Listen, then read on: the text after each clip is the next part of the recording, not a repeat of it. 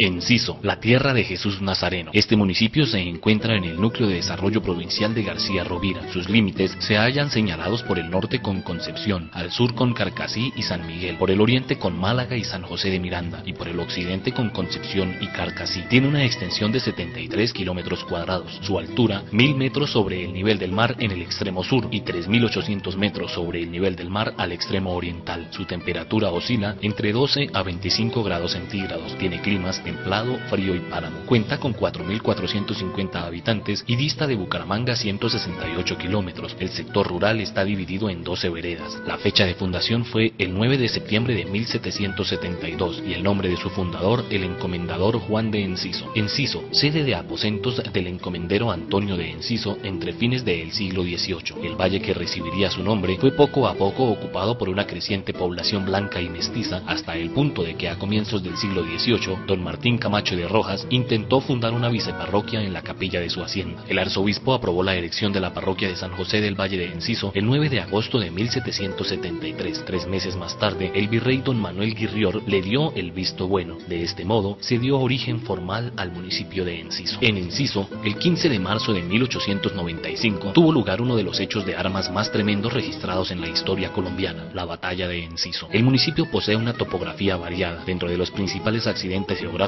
destacamos la cordillera de Cisneros en la zona Páramo, el sitio donde nace la quebrada Barruetos, que es la microcuenca más importante del municipio. Las actividades económicas corresponden primordialmente al sector agrario, como generador de ingresos, de empleo y de alimentos, lo cual permite a algunos habitantes de la región de manera inmediata el sostenimiento de sus familias. Los mayores productos comercializables son el tabaco, el frijol, el tomate y las frutas. La actividad ganadera en inciso juega un papel muy importante desde el punto de vista económico, social y cultural las explotaciones pecuarias para el municipio están representadas por bovinos doble propósito, leche y crías, caprinos, porcinos, equinos de labor, aves de postura y aves de carne principalmente. En el piso térmico medio del municipio, la ganadería es de tipo doméstico. La mayor parte del ganado se encuentra en pequeñas parcelas, donde al lado de sus cultivos el agricultor sostiene de una a cinco cabezas. El tabaco como renglón principal se cultiva en todas las veredas de clima templado y su cosecha ocupa el primer semestre del año. Dentro de sus sitios turísticos destacamos el templo parroquial de Jesús Nazareno, la finca El Artesanal, la cascada El Chorrerón, las cascadas Barrueto y Saucará, la Loma de la Cruz, el balneario La Quinta, el Pozo de la Monja, Loma Redonda y las cuevas de Peña Rica. En Enciso se celebran las tradicionales ferias y fiestas en honor a Jesús Nazareno en septiembre. Es también tradicional la celebración de la Semana Santa, el jueves de Corpus Christi, la fiesta de la Virgen del Carmen y las tradicionales fiestas decembrinas. Dentro de sus platos típicos destacamos la chicha, el masato de maíz, la sopa de pan y el sancocho de gallina.